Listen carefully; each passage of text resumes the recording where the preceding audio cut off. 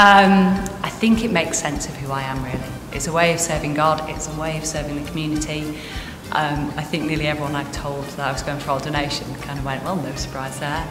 So part one of the reasons why I was so excited to get ordained into this diocese was Bishop Tim's um, uh, original mission, sta mission statement that he, he encouraged the whole diocese to think of, which was living the mission of Jesus. And that really captured my heart and my um, excitement and my interest because that's what we've always been about. Um, and so me uh, wanting to pursue ordination here was really as a direct result of seeing that vision cast by Tim um, and moving forward into the future. And it's just really exciting to be part of so many new initiatives and projects that are moving forward across the diocese and just finding out in conversations with different ordinands and curates and clergy and um, lay people across the diocese, finding out what they're doing in their little patch of the diocese and what God's calling them to.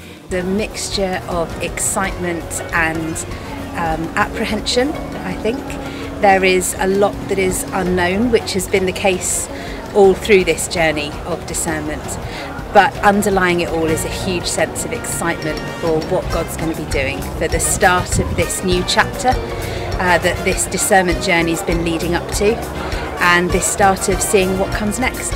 I've just um, done my deacon year, and it's been amazing. A deacon is someone that is supposed to lead people in mission, and um, it's what I love to do. Uh, I've spent a lot of the year learning to do some of the ropes of church ministry, but also had some creative projects like um, the mission house. We've got uh, in our church we've got um, some young people that have come together to live together, to pray together, to worship, um, and to, to, to, embody mission in our community. And that's been a lot of fun to, to work with them and to um, and to empower and um, to raise up young people for mission. I think stepping out of my job uh, and saying here's a way of life, here's a vocation, here's something bigger than just uh, being an employee of a company, uh, but actually saying I stand for Christ uh, in every way when I'm at the park, when I'm at the school gate, when I'm in a church service. I think that's the great thing about parish ministry, that we belong to an area and we seek to serve it and point it to Jesus Christ in any way that we can.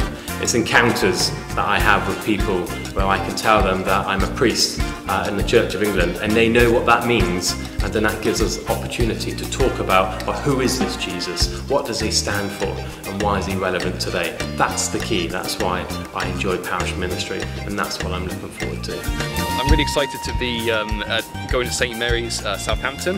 Uh, it's a church plant that started in September last year and it has a thriving community feel. Um, when I've been down there to visit a couple of times, the, the, main sense that I got from the church is that they love to be together, and that's amazing. So I'm, I'm all about family, I'm all about community, and I'm really interested to see where the church will develop into bringing the love of Christ into Southampton.